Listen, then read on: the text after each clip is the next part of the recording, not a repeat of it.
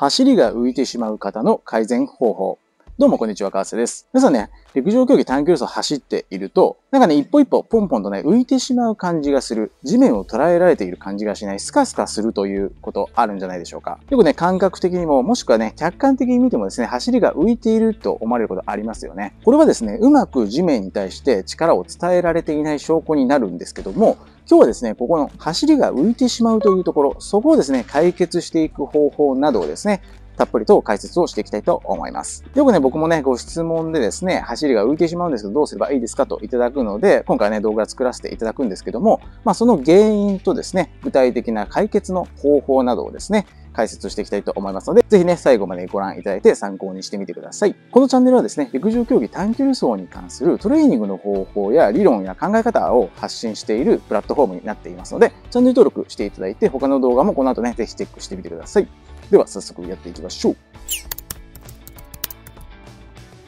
はい。それではまずですね、この走りが浮いてしまうというのはですね、具体的にどういうことなのかというお話からしていきますね。皆さんもね、なんとなく今ね、浮いたなとかですね、なんかポンポン弾む感じがしてしまうなと、感覚的には分かっていてもですね、具体的にね、どういうことが原因になっているのか、もちろん原因が分からなければ、対処法もね、見えてこないですよね。じゃあまずですね、そもそもこのね、スプリント、短距離走を走るとはどういうことかというとこですね。まあ簡単に言ってしまうと、重心移動の競技というわけですね。ゴールまで自分の重心を早く運んだ人の勝ちというね、シンプルな競技になってきます。で、その中でですね、足は回転運動ですね。膝が前に出たり、後ろに引っ込んだりと、股関節が曲がったり伸びたりしてですね、足はくるくるくるくる回転していくわけですよね。じゃあ重心はどうなっているかなというとですね、客観的に外から見るとですね、地面と平行、つまり水平方向に重心は移動していると。足は回転しているんだけど、重心は水平方向に移動している。こんなスポーツなんですね。なので、この陸上競技の短距離走を速くしていくためにはですね、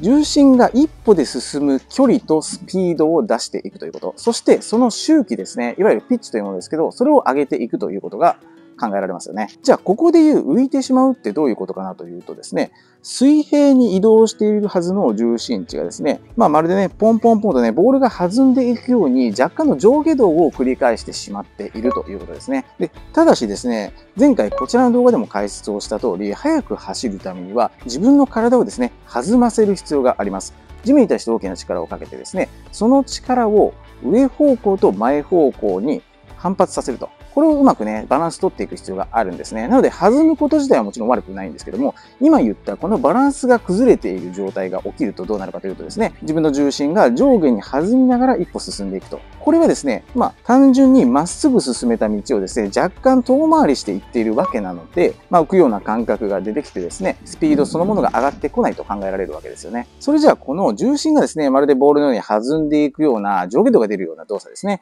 これがなぜ起こるのかっていうところがね、重要になってきますよね。ここのポイント3つ考えてみました。で、後ほどですね、やはりこの原因を解決していく方法というのをですね、解説をしていきたいと思いますので、そこもね、参考にしてもらえばなと思います。まず原因1つ目ですけども、地面につく設置の瞬間に潰れるということですね。皆さん100メートル何歩ぐらいで走りますかね？まあ、およそですね、男子選手であれば50歩前後かなと思うんですけども、まあ、50回ね、地面についていく中で、一歩一歩、片足でですね、強い衝撃を受け止めているわけですよね。なので、この設置で大きな力がかかるんですけども、そこでですね、まあ、膝や足首がぐしゃんと潰れてしまう。もしくは、地面についてからですね、その上を重心がぐーっと移動していくんですけど、その間に膝が一回ぐーにゃんと潰れてしまうということですね。潰れたものどうなるかというと、元に戻ります。つまり、一度下がってまた上がってくるわけですよね。これっていわゆる上下動になってきますよね。じゃあこれなんで潰れてしまうかというと、まずは筋力不足ですね。これは単純に考えられます。体重の3倍ぐらいの強い衝撃が片足にかかってきます。なので、片足の支持していく、片足立ちの状態でですね、その衝撃を受け止める必要があるんですよね。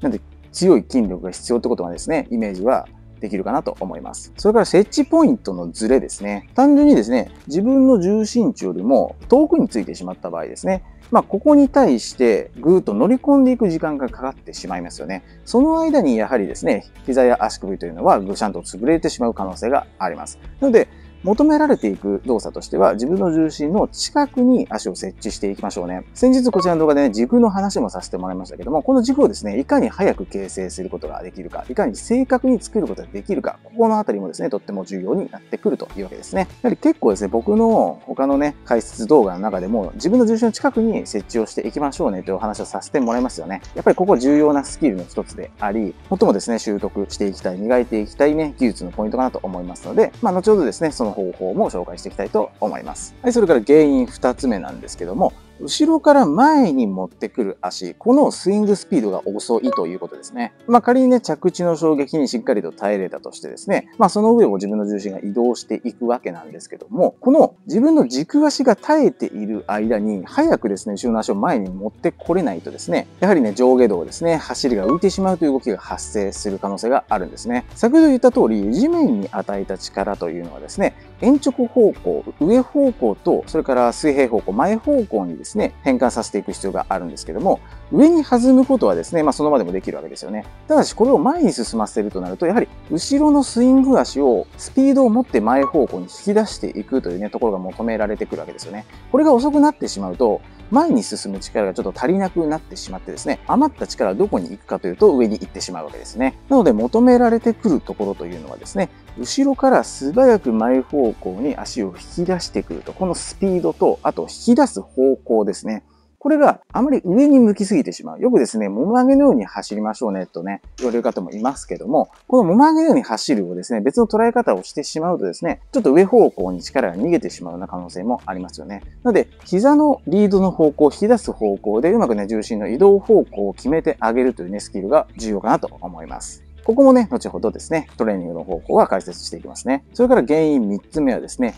余分に地面をキックしているというとこですね。まあこれね、まだ陸上競技始めて間もない方、もしくはですね、一流の選手でもレース後半になってきて、まあ単純に疲れてくるとか、あと他の選手と競って力んでしまうとかですね、まあタイムが出したくてですね、最後もがいてしまうとかね、そういった動きがね、出た場合にですね、地面を余分にキックしているよ、蹴っているよという動作が出てくる場合があります。先ほど言った通りですね、地面につく瞬間にポンと大きな力をかけることができればですね、まあ、強い推進力を生むことができるんですけども、この推進力が足りなくなってきた場合どうするかというとですね、ボンと力をかけてですね、体を前に進ませて、体の後ろの方に足が行ってからもう一度地面をパンとキックして体をですね、進ませようとするというわけですね。なので着地の瞬間の衝撃が少なくなってきましたよ。じゃあもう一度地面をキックしてですね、推進力を補ってあげますよという動作が出てくるというわけです。となると、後ろの方向に足は取り残されて、前に持ってくる時間がかかってしまいますよね。となると最初の動作に戻ってくるわけです。着地の位置が足重心地よりも遠くなってしまって、またこれも潰れの原因になると。なので、負のスパイラルにね、陥る可能性もあるわけですよね。なので、スタートの局面ですね、前傾姿勢をかけていてですね、地面をグッグッグッと押していくところでは、なんかね、しっかりと出力できている、浮く感じはしないんだけども、中盤以降になってくると地面を捉えられている感じがしなくなってくる、スカスカするような感覚があるという方はですね、もしかしたらこの傾向がある可能性も考えられるということですね。まあこれがいわゆる足が流れているよというところのですね、デメリットになってくるわけですね。まあただしですね、足は後ろの方向に流さないとですね、まあ半分から切って後ろの方向に大腿部が移動しないと、まあ重心は前に移動しないわけなので、適切なタイミングで足を離してくるよというね、見極め、ここがですね、とても重要になってくるというわけですね。はい。それではですね、今言った3つの原因ありましたね。それぞれにアプローチしていく方法をですね、3つずつ紹介していきたいと思います。皆さんね、自分のね、浮く走りの原因をまずは考えてもらうということ、そしてですね、それに適したトレーニングをですね、チョイスしてやっていくということがね、とっても大事になってきますね。それではまず、設置の瞬間にぐしゃんと潰れてしまうよ。もしくはですね、足の上を重心が通過するまでにですね、一度膝が曲がってしまうとかね、足首が曲がってしまうよっていう方ですね。これの解決策一つ目はですね、ハードルジャンプをやってみましょう。ハードルをですね、等間隔に5台から10台並べてみてください。ハードル間のインターバル間隔はですね、皆さんの足で測っていただいて、6足長から8足長ぐらいで、ここはね、レベルに合わせて調整してみてください。で、ここをですね、タックジャンプ、膝を抱え込むジャンプで飛んでいくわけなんですけども、まずですね、このハードルをですね、タックジャンプで連続でクリアしていくためには、自分の重心の真下近くに設置していくっていうのが必須になってきます。なので、走る以外でですね、まずは真下設置、自分の重心の真下近くにですね、設置していきましょうねというところを覚えてもらいたいということですね。で、合わせて、やはり地面につく一瞬で自分をね、弾ませてくるというね、まあ強い衝撃に耐えうるですね、体の使い方のも重要になってきますよね。なので、まるでね、自分がスーパーボールになったようなイメージですね。短い設置時間でポンと弾んであげる。そのためには、例えばですね、後ろから前に向かってですね、タイミング合わせて腕を振ってくるなどのね、アシスト動作も必要になってくるわけですよね。で、慣れてきたらですね、先ほど設定したインターバルですね。ハードル、例えば最初6足長で並べたとしたら、7足長、8足長とね、だんだん広げてってもらって、重心をね、前に移動させていくスキルをですね、アップさせてもらいたいなと思います。それからもう一個ドリル紹介していくと、ニーアップドロップですね。これが有効かなと思います。ニーアップ動作なので、もも上げの動作ですね。で、ももを上げた位置から足をポトンとドロップ、落としてきて前に進んでいきましょうねというですね、ドリルになってきます。で、ここでやっていきたい動作、考え方としてはですね、前に出た膝の位置に腰を進めていくと。今みたいにですね、結果的に自分の重心の真下近くに設置することができますよね。合わせて膝が上下に動くので、まあ、つまりこれ股関節が曲がったり伸びたりしているということですね。股関節優位といって股関節手動で動かすことをですね、大事にやってもらいたなと思います。でね、これ片足ずつやっていますので、まあ、右足、左足ね、ちょっとね、乗るのが苦手な方、乗り込み動作が悪いなと思う方があるかなと思いますので、そっちの足をね、重点的にやってみてもいいかなと思います。それからね、もう一つドリル紹介していくと、ミニハードル走がね、有効かなと思います。これもね、ミニハードルを等間隔でですね、5台から10台ね、並べてもらって、10メーターぐらい助走を取ってもらってですね、ミニハードルルの間を駆け抜けていくというんですね。まあシンプルなトレーニングの方法ですよね。で、ミニハードルの間の間隔なんですけども、皆さんの足で測っていただいてですね、6足長から8足長の間がね、いいかなと思います。ここはですね、ストライドよりも少し短い形をね、選んでもらうといいかなと思います。なのでね、やや狭いと感じるそのストライドの中で、まあストライドを制限した中でですね、ミニハードルという障害に当たらないように走っていくので、まあ自然とですね、高い位置からミニハードルの近くに、真下近くにですね、踏み込むことができるということ。そして、後ろの足いつまでも蹴り上げているわけじゃなくて、すぐに回収してこないとですね、次のミニハードに当たってしまうので、後ろ足を前に持ってくるスピードも上げることができるということですね。なので、設置のポイントを正していくというのにもね、有効なんですけども、後でね、紹介していくような、スイングのスピードを引き上げるところとか、余分に地面を蹴らないというところですね、ここにも有効かなと思いますので、まあ、このね、ミニハードル走をぜひやってみてください。それから次、二つ目のですね、スイングのスピードを高める方法ですね。ここを3つ紹介していきたいと思います。まず一つ目はですね、スキップですね。で、普通にですね、リラックスしてスキップをやってもらったらですね、次は前に遠くにですね、進むスキップをですね、やってもらいたいなと思います。なので、ここで求められてくるのは、後ろの方向の足、ここの膝をですね、前方向にグイーンとですね、スピードを持って、かつですね、ダイナミックに動かしてほしいということですね。後ろから前に持ってくる足、この膝でですね、自分の重心を連れてってもらう。そんなイメージでね、やってみるといいかなと思います。なのでね、例えばですね、まあこういった競技場だけではなくてですね、下が不安定なところ、まあ芝生でもいいですけども、砂浜、土とかね、あと緩やかな坂などでもいいかなと思うんですけども、そういったところでね、スキップやるのもね、非常に有効かなと思います。やはりね、着地の衝撃がですね、分散してしまうような不正地でやってくるとですね、後ろ足を前に持ってくるスピードっていうのがね、さらに重要性を感じることができるかなと思います。あとね、軽い重りを引っ張ってもらったりっていうのもね、いいかなと思いますね。それからもう一つドリル紹介していくと、スピードバウンディングも有効ですね。これも同じように、後ろの足の膝をですね、前方向にグイーンとリードしていってですね、その膝に連れてってもらうようなイメージでやってみましょう。スピードバウンディングはですね、バウンディングの中でもですね、より力を発揮する方向を水平方向、前方向に抜けたようなですね、バウンディングの方法になってきます。なので、スピードを求められていきますので、まあ、例えばですね、2、30メートルのタイム測ってみるとか、隣の人と競争しながらスピードバニーやってみるとかもね、有効かなと思います。で、先ほどのスキップと同じように、不正値でやってあげるのもいいですし、重りを引っ張ってあげるのもですね、より水平方向に力を発揮していく、そんなスキルを獲得することができるかなと思いますので、工夫しながらやってみてください。それからもう一つはですね、ホッピングですね。ホッピングはケンケンの動作ですね。これを、まあ、一歩ね、できるだけ遠くに行きましょうねというね、ジャンプのトレーニングの方法になってきます。で、やはりね、まあ、着地の大きな衝撃に片足で連続でですね、耐え続けなければいけないので、まあ、筋力強化にもつながってくるんですけども、重要になってくるのはやはり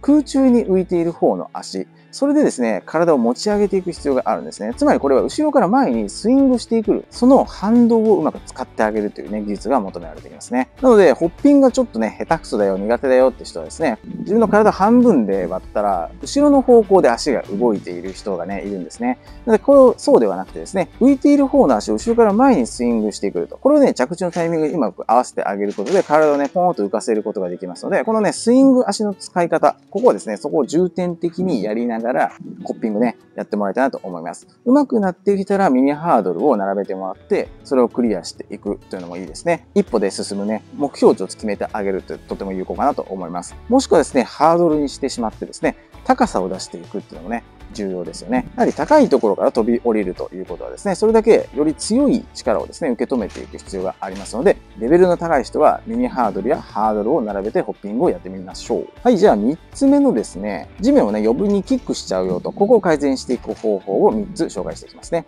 まずは、片足のピックアップ動作ですね。ピックアップというのは、まあ、後ろにね、送られた足のかかとを自分のお尻の下に引きつけてくる動作のことを言います。これをですね、片足ずつやっていくわけなんですけども、片足がピックアップされるということは、反対の足、地面についている方の足の股関節はですね、グインと進展して地面を押している動作が出てきます。なのでこれどっちも大事ですね。ピックアップする速さを求めていくのも大事ですし、地面をね、グイッと押していく。お尻の筋肉を使ってですね、地面を押して重心を進ませる。どっちも大事になってきますので、ここのタイミングをしっかりと合わせるようにやっていきましょう。なのでね、タイミングがね、いまいちずれてしまうとですね、一歩で前に進まなかったりね、地面を余分に蹴らなきゃいけないという動作が出てきたりしますので、ピックアップと地面を押していく。この左右の足のタイミングをしっかりと合わせていくと。そこをですね、イメージしながら、両足ね、均等なスキルが出てくるようにですね、やってみてください。それから次、緩やかな上り坂で走っていくというところですね。で、上り坂の練習はどちらかというと、加速局面、スピードがゼロの状態からスピードを乗せていくね、スタートの局面ですね。ここを練習していくのに向いているトレーニングの方法なんですけども、ここではですね、地面をグッグッグッと捉えていきますよ。一歩でしっかりと出力していきますよという感覚を余分に出していきたいので、緩やかな上り坂を走っていきたいと思います。緩やかなというとですね、皆さんのね、携帯にですね、坂の傾斜を測れるアプリなどでダウンロードできますので、測ってもらってですね、5%ぐらいの緩やかな上り坂ですね。もうちょっと緩くてもいいですね。3%ぐらい。見た目登っているかわからない程度でも OK です。で、フラットな走路、こういったね、平坦な走路走るよりは、上り坂走っていくことでね、まあ、よりですね、力を一歩で使うわけですよね。なので、その接中タイミングでしっかりと力を出していきましょうねと、そこをですね、覚えていきたいということですね。先ほど言った通り、スタートの局面、前傾をかけた姿勢で地面を押していくという感覚がつかみやすいですよね。起き上がってきて、中間疾走、トップスピードになってくると、なんかスカスカしてしまうよと、そういう感覚が出てくるかなと思うんですけども、それをまずは、緩やかな上り坂で走ってあげることで感覚を身につけてほしいというわけですね。同じようにコーナー、カーブを走っていくのも有効かなと思います。まあコーナー走なので、まあどちらかというとね、内側の足、左足の方にぐっとね、力は入ってきますよね。直線を走るよりも余分に地面をぐっと捉える必要があります。なので、左回りももちろんやるんですけども、逆回りですね、右回りも同じようにやってみると。普段走らない逆走ですよね。こっちの方もやってあげることで、まあ地面をね、一歩でグッと押していくよと。その感覚をね、しっかりとマスターすることができるかなと思いますので、コーナー走もやってみてください。まあできればですね、コーナー例えば50メートルぐらい走ってきたら、そのままね、直線に出てあげると。コーナーで培ってきたですね、地面を押していく感覚ですね、地面を捉えていく感覚を引き継ぎながら直線をクルージング走ですね、そのままあのリズムやスピードをキープしたままですね、走ってあげる。こういった練習もね、とっても有効かなと思いますので、やってみてください。それから最後、散歩のマーク走ですね。これはマークをですね、皆さんの足で測っていただいて、20足長の間隔で5個並べていきましょう。で、間ね、もちろん1歩で行くのは不可能なので、3歩でクリアしていくというものですね。つまり、マークを超える足は毎回違ってくるというわけですね。で、123、123でもちろんマークを超えていくわけなんですけども、1の時、マークのそばにつく時ですね、そこを強くグッと踏んでいくようにしましょう。最初の1個目のマークから5個目のマークにかけてですね、スピードが上がってくるにつれて、だんだんとマーク感が狭く感じてきますよね。なので、素早く足を回していく必要があります。ということは、余分に地面をキックしている動作からですね、地面をキックしない動作に移行することができるというわけですね。なので、マークの間を同じにしていく。そしてスピードの変化をうまく利用していくことでですね、足の回収のスピードを上げていく、回収する感覚、地面を正しく、地面を正しいタイミングで離すというところですね、そこをですね、学んでもらいたいなと思います。5個のマークをですね、しっかりとクリアしてもらったら、そのね、上がったリズムのまま20メートル、30メートルね、気持ちよく走ってみて、見てもらうとですね、よりね、走りの感覚がつかめてくるかなと思いますので、ぜひやってみてください。